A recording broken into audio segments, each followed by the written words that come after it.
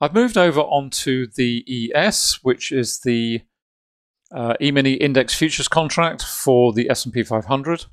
Uh, the US markets are just getting underway. Um, and uh, as you can see, I'm on a 10 minute time frame here.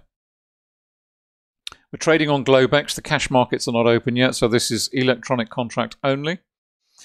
And again, it's uh, it's a nice example of uh, first of all the relationship between the volume point of control and the the volume associated with it. You can see how significant it is here. It's a huge amount of volume, and the reason for that is because this market has been in congestion for a long time. This is, um, you know, this is 10, 12 hours or so of congestion, not really going anywhere. Then we start to get the move away. And as we break away from this region, volume is falling away nicely for us. And what's interesting to note is you see this low volume here on the on the volume point of control histogram. We've moved through there pretty swiftly, and that's what you expect to see because if there's very little volume on the profile, then you expect to see price action move through pretty swiftly. We've had some congestion building here. We've had the volume building alongside it. And we're now pushing up again into a low volume region on this particular time frame on the 10 minute. And if 10 if this is your trading window, if this is your your primary focus is on this particular time frame, you would of course have a faster time frame below and a slower time frame above. We'll flick up onto 15, see what's going on there, just to get a different perspective. But again, it, it gives you so much information and it's all about anticipation of what's going to happen next whether the whether you're breaking away from the volume point of control in which case you're a breakaway trader and you'd be looking at you'd have the volume associated down here the linear relationship between volume and price you'd be looking at that from a volume price analysis methodology uh, or whether the, you are actually coming up to a volume point of control uh, level at which you expect and anticipate uh, congestion, or possibly a reversal. So let's just flick this up to, let's go to a different time frame. Let's go up to up to 15, see where we are. Volume point of control here is a much lower level.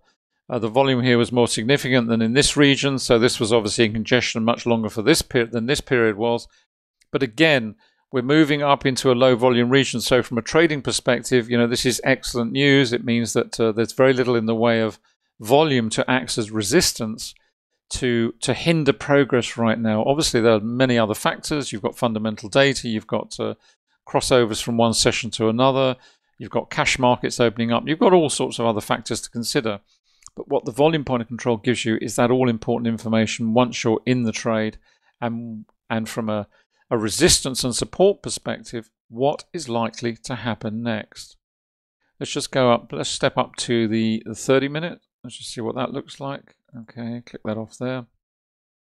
Pretty similar picture. Very heavy concentration of volume, less so here. You see how rapidly it moved both the downside and the upside through this region here. This was a low volume region comparatively, at any rate, with this volume here. So it moved through pretty swiftly, both on the downside and on the upside. Struggling at this level because we had uh, you know a lot of volume sitting here, but then as the volume falls away, Look how rapidly the, the price action manages to break through this region and up into the low volume area, which is really nice to see. Just scroll that over there. There we go. And this is what you'll be doing the whole time. I'm doing it because I'm just changing time frames just to show the examples better rather than have them small and having to zoom in and out.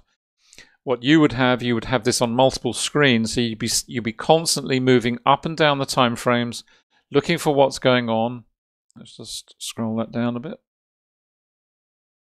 You'd be constantly searching out to see what is happening in terms of your slower time frames to, to gauge what is likely to happen next, the anticipation. Apologies. There we go.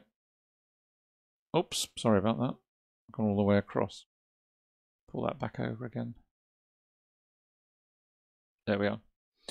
So you will be up and down the time frames looking for those opportunities and to answer the question that we all want to know as, as a trader, as an intraday trader or a longer term trader, makes no difference. You want to know what is likely to happen next.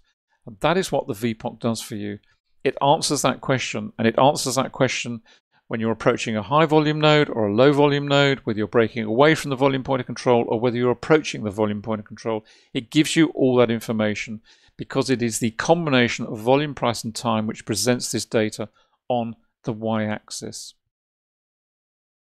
So I hope you've enjoyed that particular video.